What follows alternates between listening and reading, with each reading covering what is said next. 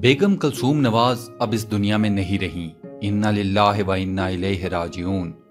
گیارہ ستمبر دو ہزار اٹھارہ کو بیگم کلثوم نواز نے لندن کے ہارلے سٹریٹ کلینک میں اپنی زندگی کی آخری سانس لی۔ بیگم کلثوم نواز پاکستان کے تین مرتبہ منتخب وزیر اعظم میاں نواز شریف کی اہلیہ تھیں اور پاکستان کی واحد خاتون تھیں جو تین مرتبہ خاتون اول رہیں۔ بیگم کلثوم نواز کا تعلق کشمیری بٹ برادری سے تھا۔ وہ مشہور زمانہ گاما پہلوان کی نواسی تھیں۔ بیگم کلثوم نواز ایک پڑھی لکھی خاتون تھیں۔ انہوں نے پہلے اردو زبان میں ماسٹرز کی ڈگری مکمل کی اور پھر اس کے بعد فلسفے میں پی ایچ ڈی مکمل کی۔ بیگم کلثوم نواز کی بیماری اور وفات کے حالات پر اسرار ہیں۔ کوئی بھی شخص ان کی بیماری اور وفات کے بارے میں کوئی بات وسوخ سے نہیں کہہ سکتا۔ اس ویڈیو میں ہم آپ کو بیگم کلثوم نواز کی بیماری اور وفات کے بارے میں کچھ ایسی باتیں بتائیں گے۔ جو آپ نے پہلے نہ سنی ہوں گی، نہ پڑھی۔ السلام علیکم دوستو اسٹوڈیو ون کی ایک اور منفرد، علمی اور معلوماتی ویڈیو میں آپ سب کو خوش آمدید۔ دوستو، ویڈیو میں آگے بڑھنے سے پہلے ہم آپ سب دوستوں سے گزارش کرتے ہیں کہ جن دوستوں نے ابھی تک ہمارے چینل کو سبسکرائب نہیں کیا، وہ برائے مہربانی ضرور سبسکرائب کر لیں۔ اس بات میں کوئی شک نہیں کہ بیگم کلثوم نواز پاکستانی سیاست کے چند بڑے ناموں میں سے ایک تھیں۔ لیکن اس کے ساتھ ساتھ ان کی موت کچھ ایسے حالات میں ہوئی جو کہ ہم سب کے لیے ایک لمحہ فکریہ ہے۔ بیگم کلثوم نواز کی بیماری اور پھر موت پر ایک پرسرار سی چادر تنی دکھائی دیتی ہے۔ اس پر کئی لوگ میڈیا اور سوشل میڈیا پر بات بھی کر چکے ہیں۔ اس بیماری اور موت کو سیاسی رنگ بھی دینے کی کوشش کی جا رہی ہے۔ افسوس کی بات یہ ہے کہ پاکستان مسلم لیگ نون کے ہی کچھ لیڈر اور کارکنان میڈیا اور سوشل میڈیا پر بیگم کلثوم نواز کی بیماری اور وفات کو سیاسی رنگ دینے کی کوشش کر رہے ہیں۔ دوستو، کیا کسی کی بیماری یا موت کو سیاسی رنگ دینا جائز ہے؟ ہاں یا نہیں؟ اپنا جواب ہمیں کمنٹ سیکشن میں ضرور بتائیں۔ بیگم کلثوم نواز گلے کے کینسر جیسے موزی مرض میں مبتلا تھیں۔ اس مرض کی تشخیص اگست دو ہزار سترہ میں ہوئی اور بیگم کلثوم نواز کا لندن ہارلے سٹریٹ کلینک میں علاج شروع کر دیا گیا۔ انہیں کیمو تھراپی اور ریڈیو تھراپی کے کئی مرحلوں سے گزرنا پڑا۔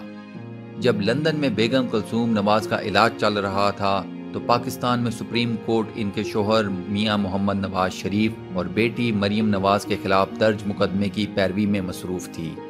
میاں نواز شریف اور مریم نواز بیگم کلثوم نواز کی تیمارداری کے لیے اکثر پاکستان سے لندن بھی جاتے رہتے۔ میاں نواز شریف اور بیگم کلثوم نواز کے دونوں بیٹے حسن نواز اور حسین نواز لندن ہی میں مقیم رہے۔ دونوں اپنے آپ کو اب پاکستان کا شہری نہیں مانتے اور اپنے آپ کو برٹش کہلاتے ہیں۔ یہ معاملہ یوں ہی چلتا رہا۔ اس تمام معاملے میں پرسراریت آتی ہے سال دو ہزار اٹھارہ میں یعنی کہ کچھ ماہ پہلے۔ سب سے پہلے اپریل کے مہینے میں سپریم کورٹ نواز شریف کو نااہل کر کے ان کو وزیر اعظم کے عہدے سے فارغ کرتی ہے۔ دوستو کیا سپریم کورٹ کا میاں نواز شریف کو نااہل کرنے کا فیصلہ صحیح تھا؟ ہاں یا نہیں؟ اپنا جواب ہمیں کمنٹ سیکشن میں ضرور بتائیں۔ اس کے بعد جون کے مہینے میں بیگم کلثوم نواز کی طبیعت بگڑتی ہے اور انہیں وینٹیلیٹر پر منتقل کر دیا جاتا ہے۔ بکول حسن اور حسین نواز، بیگم کلثوم نواز کو دل کا دورہ پڑا اور اسی لیے انہیں وینٹیلیٹر پر منتقل کر دیا گیا۔ بیماری کے شروع میں بیگم کلثوم نواز کی لندن ہارلے سٹریٹ کلینک سے تصاویر، میڈیا اور سوشل میڈیا پر آتی رہیں اور ان کی بیماری پر تبصرے بھی ہوتے رہے۔ ان تصاویر میں سے کچھ میں وہ بات چیت کرتے بھی دکھائی دی۔ کچھ سیاسی پارٹیوں کے اراکین اور کارکنان نے اس بیماری کو ایکٹنگ اور ڈرامہ بھی قرار دیا۔ یہ سارا معاملہ مزید تب گھمبیر ہوا جب بیگم کلثوم نواز کو وینٹیلیٹر پر منتقل کیا گیا۔ اس وقت تک پاکستان میں الیکشن نہیں ہوئے تھے۔ میاں نواز شریف نا اہل تھے اور جگہ جگہ جلسوں میں جا کر پوچھتے تھے کہ مجھے کیوں نکالا۔ ان کی بیٹی مریم نواز ہر جلسے میں ان کے ساتھ ہوتی۔ میاں نواز شریف نا اہلی کے فیصلے کو اپنے خلاف سازش قرار دیتے، مگر سازش کرنے والوں کا کوئی نام بھی نہ لیتے۔ ادھر لندن میں بیگم کلثوم نواز وینٹیلیٹر پر ہی تھیں اور ان کی آنے والی تصاویر میں بھی وہ بے ہوشی کے عالم میں ہی دیکھی گئیں۔ یہاں یہ بات قابل غور ہے کہ پہلے کافی عرصہ صرف تصاویر ہی میڈیا اور سوشل میڈیا پر دیکھی گئیں۔ کسی بھی قسم کا کوئی ویڈیو کلپ تب کہیں باہر نہ آیا تھا۔ بیگم کلثوم نواز کی بیماری سے متعلق تمام معلومات اور تازہ ترین صورتحال حسن یا حسین نواز ہی میڈیا کو بتاتے۔ حتیٰ کہ ڈاکٹرز اور نرسز بھی کبھی میڈیا کے سامنے نہ آئیں، جو کہ ایک حیران کن بات ہے۔ مریض خاص ہو یا عام، ہمیشہ ڈاکٹر ہی میڈیا کو صورتحال سے آگاہ کرتا ہے۔ مگر بیگم کلثوم نواز کے معاملے میں یہ سب نہیں ہوا، جس سے میڈیا اور سوشل میڈیا میں موجود لوگوں کو شک پڑنا شروع ہو گیا۔ انہی دنوں میں یہ خبر بھی سامنے آئی کہ لندن ہارلے سٹریٹ کلینک شریف خاندان کی ذاتی ملکیت ہے۔ اسی وجہ سے بیگم کلثوم نواز کو اس کلینک میں رکھا گیا ہے۔ اس خبر نے اس سارے معاملے میں مزید ابہام پیدا کر دیا۔ دوستو، کیا شریف خاندان کا ڈاکٹرز کو میڈیا کے سامنے نہ آنے دینا صحیح فیصلہ تھا؟ ہاں یا نہیں؟ اپنا جواب ہمیں کمنٹ سیکشن میں ضرور بتائیں۔ اب حسن اور حسین نواز کرپشن میں ملوث تھے، چنانچہ ان کی باتوں پر یقین کرنا پاکستانی قوم کے لیے ایک مشکل کام تھا۔ اب میڈیا اور سوشل میڈیا پر طرح طرح کے سوال اٹھنے لگے اور مسلم لیگ نون اور شریف خاندان کے پاس ان سوالوں کا کوئی جواب نہ تھا۔ وقتاً فوقتاً بیگم کلثوم نواز کی کوئی ایک آدھی تصویر یا کوئی ویڈیو کلپ میڈیا اور سوشل میڈیا کو دے دیا جاتا۔ جس میں زیادہ تر میاں نواز شریف اور مریم نواز، بیگم کلثوم نواز کی تیمارداری کرتے نظر آتے۔ پھر مرحلہ آیا جب الیکشن سے کچھ عرصہ پہلے سپریم کورٹ نے میاں نواز شریف، مریم نواز اور کیپٹن ریٹائرڈ صفدر کو سزا سنا کر جیل بھیج دیا۔ پاکستان کی سیاست میں یہ خبر ایک ایٹم بم کی طرح تھی۔ ہر کسی کی توجہ اس خبر کی طرف ہو گئی اور بیگم کلثوم نواز کی طرف سے سب کی توجہ ہٹ گئی۔ میاں صاحب بیٹی اور داماد کے ساتھ اڈیالہ جیل چلے گئے۔ پاکستان میں الیکشن ہوئے اور اب ہر کوئی نئی آنے والی حکومت کے بارے میں بات کرنے لگ گیا۔ ادھر لندن میں بیگم کلثوم نواز کی طبیعت میں بہتری آ گئی۔ اب یہاں دو متضاد خبریں سننے کو ملی پہلی یہ کہ بیگم کلثوم نواز کو لندن ہارلے سٹریٹ کلینک سے ان کے گھر یعنی کہ مے فیئر اپارٹمنٹس میں منتقل کر دیا گیا ہے۔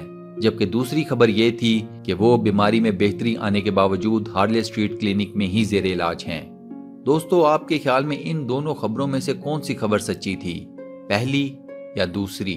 اپنا جواب ہمیں کمنٹ سیکشن میں ضرور بتائیں۔ اب چونکہ نہ تو بیگم کلثوم نواز کی کوئی تازہ ترین تصویر میڈیا اور سوشل میڈیا پر آ رہی تھی اور نہ ہی کوئی ویڈیو کلپ، چنانچہ بیگم کلثوم نواز کی علالت کی اصل صورتحال کسی کے بھی علم میں نہ تھی۔ پھر حسین نواز نے ایک دو میڈیا چینلز کو بتایا کہ بیگم کلثوم نواز اب بات کر لیتی ہیں اور وہ مسلسل میاں نواز شریف اور اپنی چہیتی بیٹی مریم نواز کا پوچھتی رہتی ہیں کہ وہ لوگ ان کو ملنے کیوں نہیں آتے؟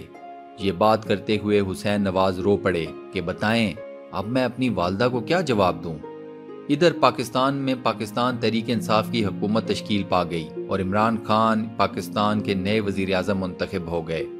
یہ خبر اب پاکستانی سیاست اور پاکستانی میڈیا کے لیے اس سال کا دوسرا بڑا دھماکہ تھی۔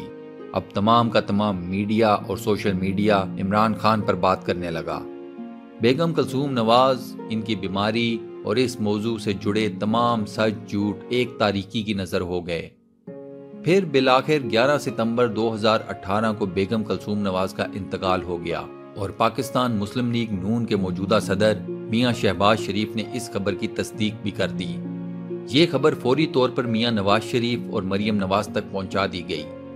میاں صاحب اور مریم بی بی کا رد عمل وہی تھا جو ہم سب میں سے کسی کا بھی ہو سکتا ہے۔ میاں نواز شریف اور ان کی فیملی اس وقت نہایت غمگین ہیں، لیکن یہاں ایک بات قابل غور ہے۔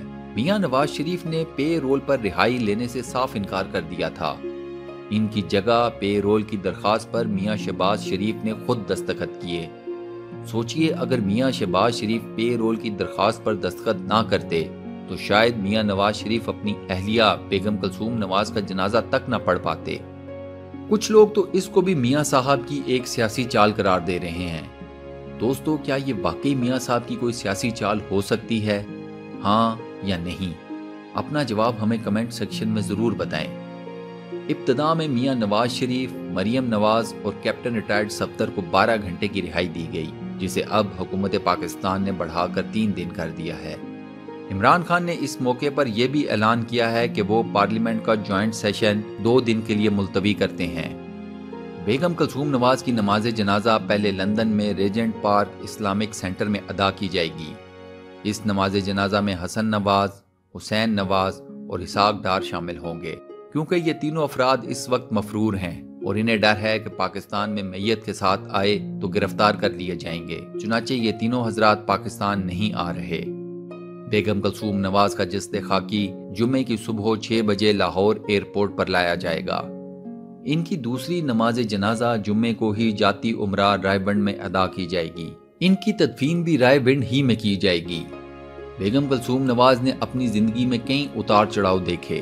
بکول ان کے قریبی لوگوں کے خاندان کے زیادہ تر فیصلے وہ خود کرتی تھیں۔ بچوں کی شادیوں کے فیصلے، لندن میں کاروبار کرنے کا فیصلہ، حسن اور حسین نواز کو سیاست سے دور رکھنے کا فیصلہ، مریم نواز کو سیاست میں لانے کا فیصلہ، یہ تمام فیصلے بیگم کلثوم نواز کے تھے اور ان سب پر شریف خاندان نے عمل بھی کیا۔ بیگم کلثوم نواز اب اس دنیا میں نہیں رہی۔ ان کی علالت اور وفات پر کسی سیاسی پارٹی کو کسی بھی قسم کی سیاست نہیں کرنی چاہیے۔ اگر کسی نے ان کی بیماری کے وقت اس سے متعلق کوئی سیاست کی ہے، تو اسے اللہ تعالیٰ سے اپنے اس گناہ کی معافی مانگنی چاہیے۔ اللہ کے رسول صلی اللہ علیہ وآلہ وسلم نے فرمایا کہ جب کوئی بندہ اللہ کی طرف لوٹ جائے، تو اس کے بارے میں برا نہ کہو۔ ہم اللہ تعالیٰ سے دعا کرتے ہیں کہ وہ بیگم کلثوم نواز کی کوتاہیوں، غلطیوں کو معاف فرمائے۔ اور انہیں جنت میں جگہ عطا فرمائے۔ آمین۔ دوستو، کمنٹ سیکشن میں آمین لکھ کر اس دعائے خیر کا حصہ ضرور بنے جزاک اللہ۔